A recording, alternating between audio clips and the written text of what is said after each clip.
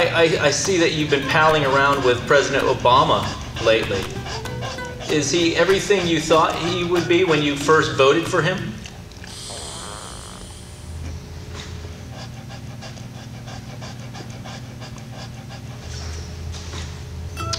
Well, I'd like to thank you.